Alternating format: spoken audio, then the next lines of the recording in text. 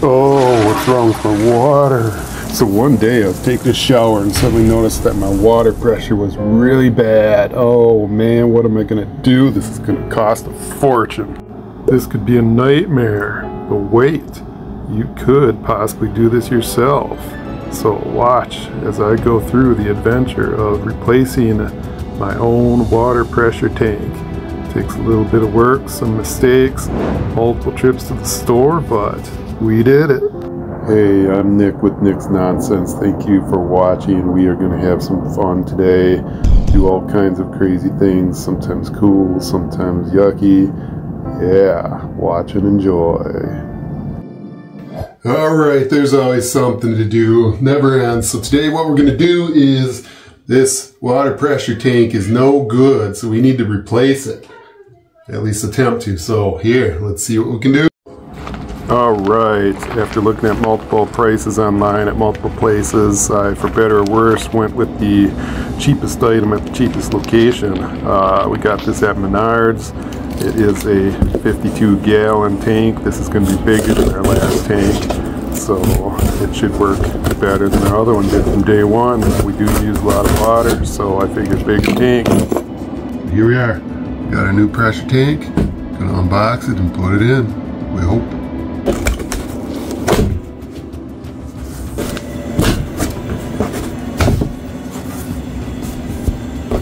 It's blue. It's blue. Should be installed in the kitchen. What? No, I don't think so. Oh, we gotta get down the stairs somehow. That'll be a lot of fun.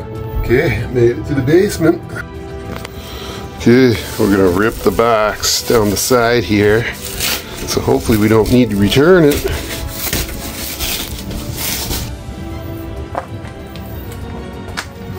There we go. Let's get ready. All right, we need to show you in this dirty sink here what's happening with our water. So there, with that running, with that running, watch how quickly this thing cycles. All right, so we're down to 30, 28, 27, maybe 24. Okay, so it goes up to 55. Look how fast it's dropping here. 40, 35, 30,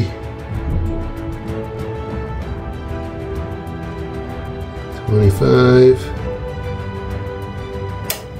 There we are. So, that's way too short.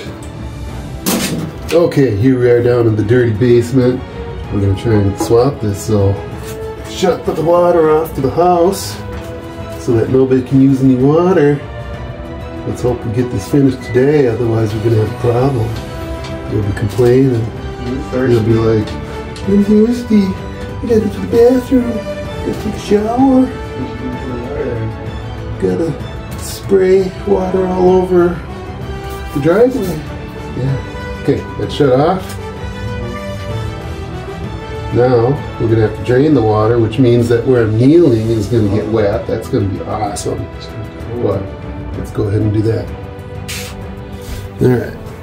Open up the faucet here. Yum yum. This is how you clean your floor in the basement. Drain in the tank.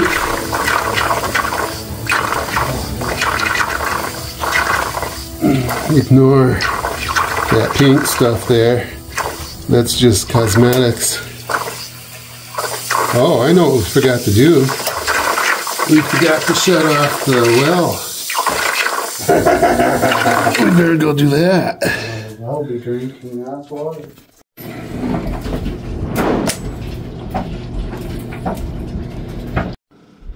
Okay, let's try this again now. That thing better not refill this time. You just turned up the water line.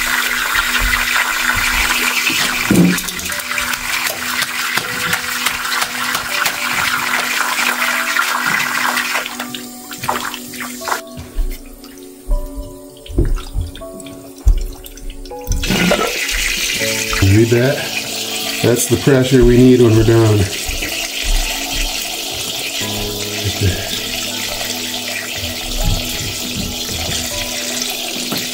Okay, gurgle gurgle, it's all done draining. I've got a monkey wrench,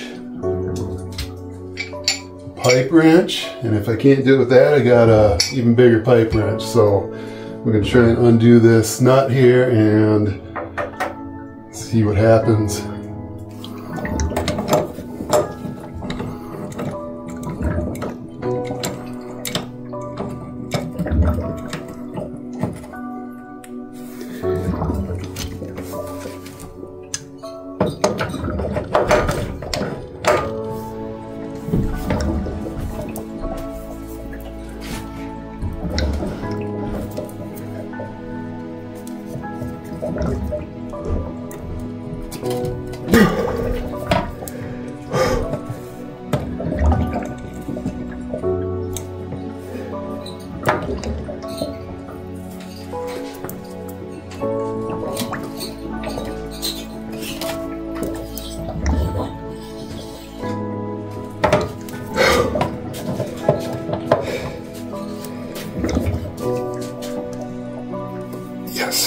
Done.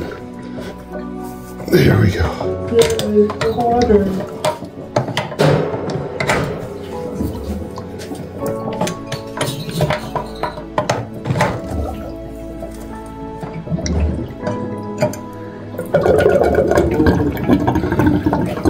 The monster. It's mad.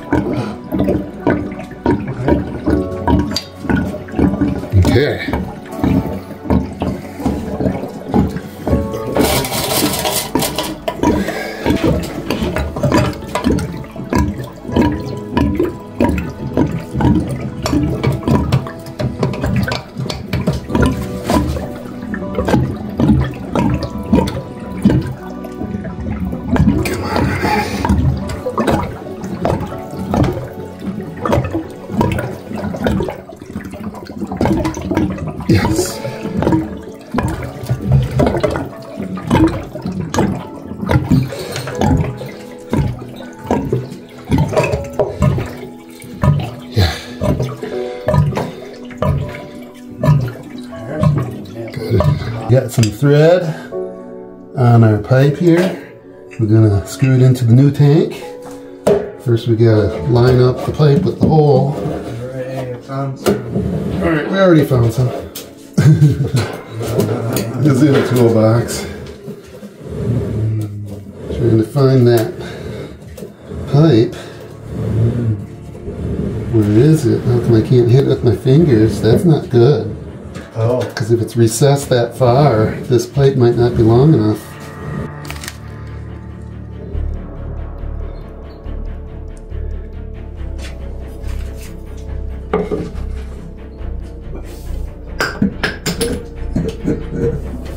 Oh, that's not good. Look how far in it is uh-huh. and how high up it is.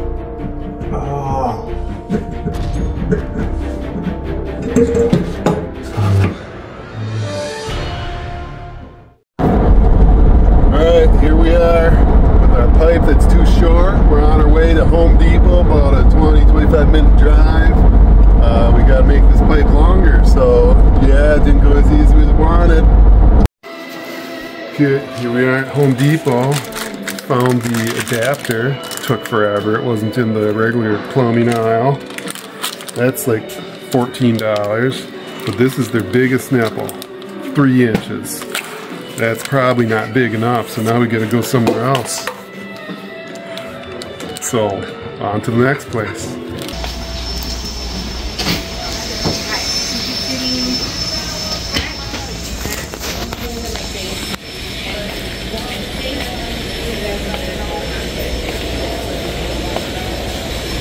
You have these two ones. No, the wrong number.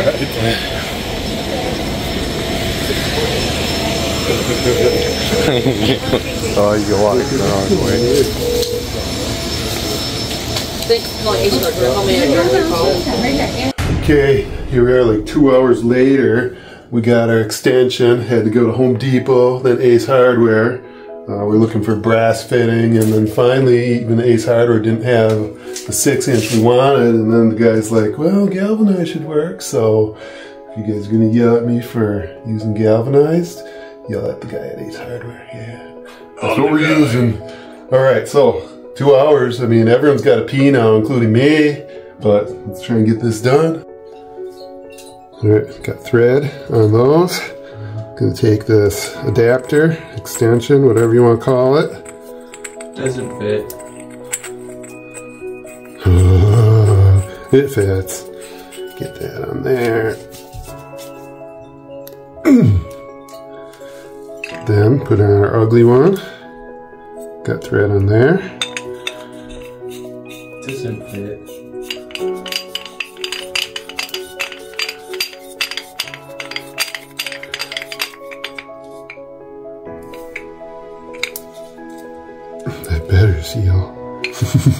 That threaded all the way in. Oh.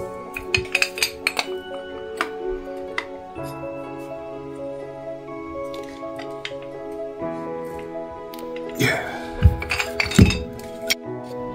Okay, gotta find out if this threads in this thing better. If we have to go back for an adapter to make it bigger.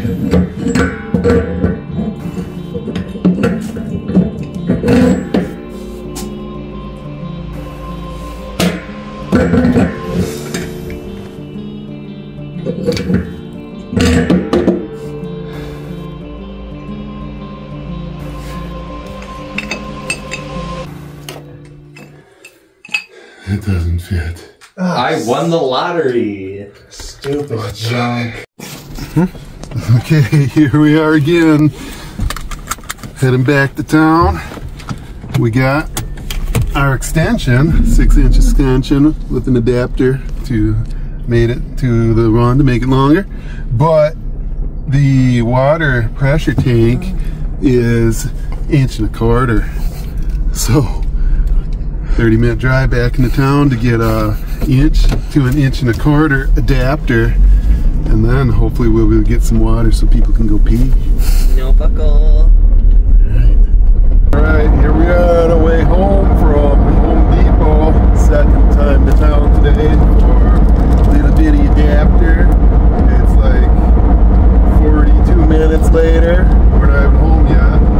So hopefully this is the last item we need to buy. We're gonna try and get this pressure tank done today because everybody at home's gotta pee.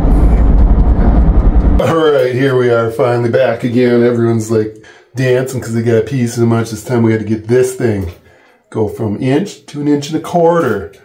Yeah, that's how prepared we are.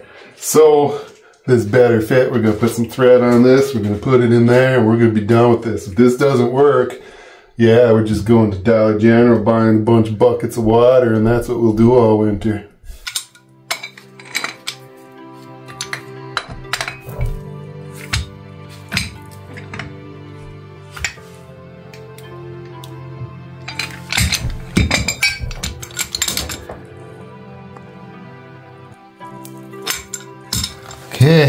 Now we're gonna see if this threads in. It better.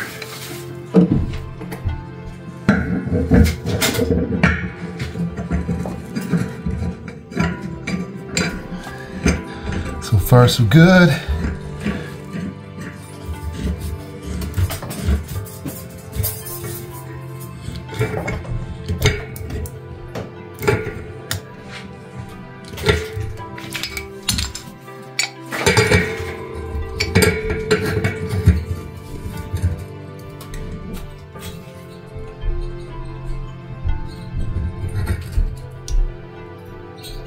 Tighten it. Not too much though.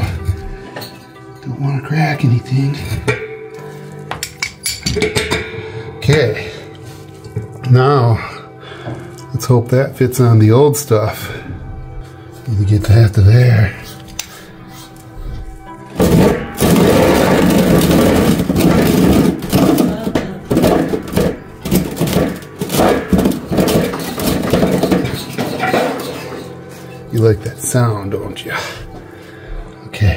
So clearly we're a different height here, but there is some wiggle room here.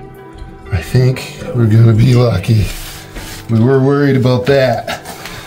We were worried it wasn't gonna reach. And let's hope once we turn the water on, it doesn't just all spray out at this union here. So, when we were at Home Depot, I took a look at the pipe wrenches. This thing's like a hundred and sixty dollars or something. Yeah.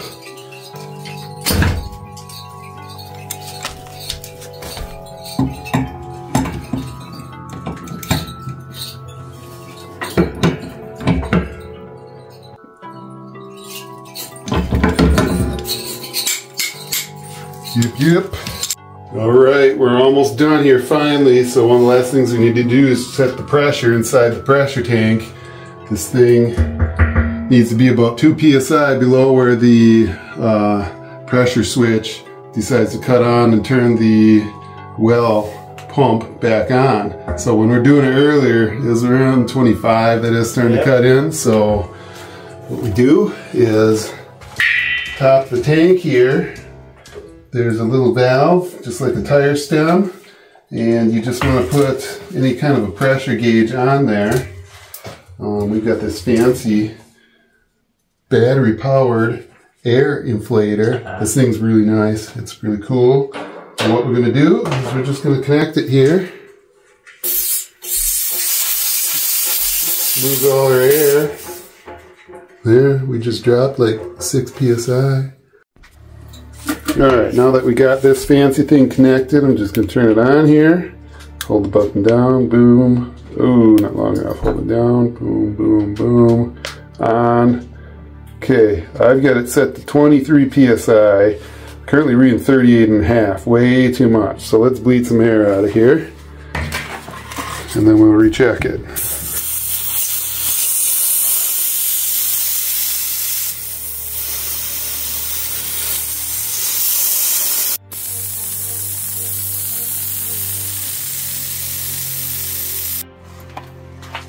There we are. Oh, it went up a little. 23 and a half. Let's just take out a little more.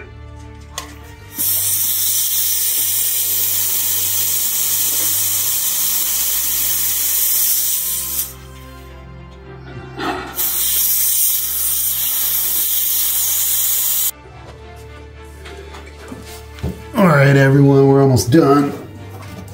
Shutting the faucet here. Then I'm going to turn the breaker on and start filling up some water into the tank. And then we'll turn it on to the house. Hopefully it doesn't start spraying. So I'm going to go turn that breaker on. You guys are going to watch these things. And if they start spraying everywhere, you tell me. Hopefully I turned the faucet off, not wide open just now. Mm. Because it might have been wrong. Because I only turned it, turned it in half.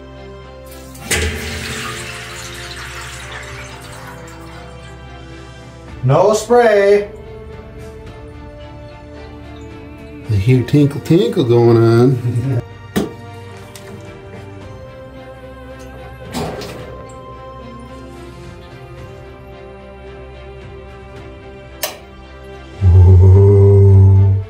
Okay. Pressure's holding. I don't hear any water.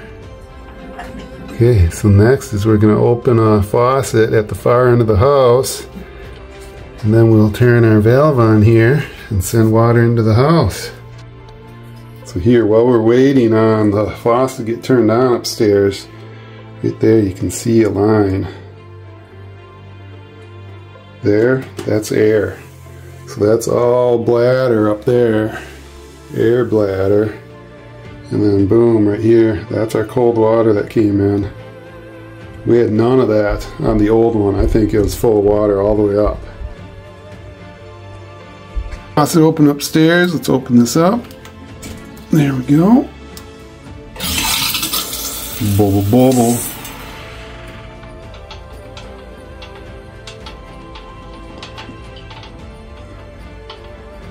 Wide open.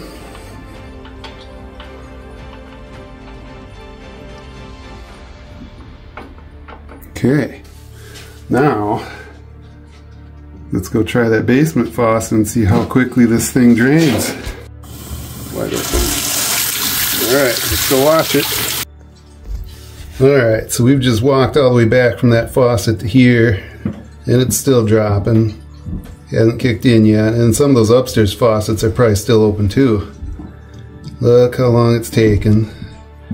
Remember before it was going 50, 45, 40, 35, 30, 25, and then it kicked on, and yeah, that ain't happening anymore.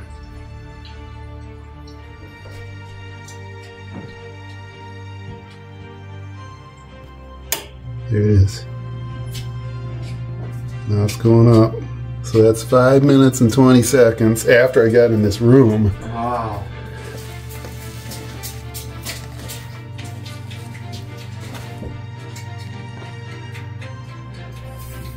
I can hear the pump.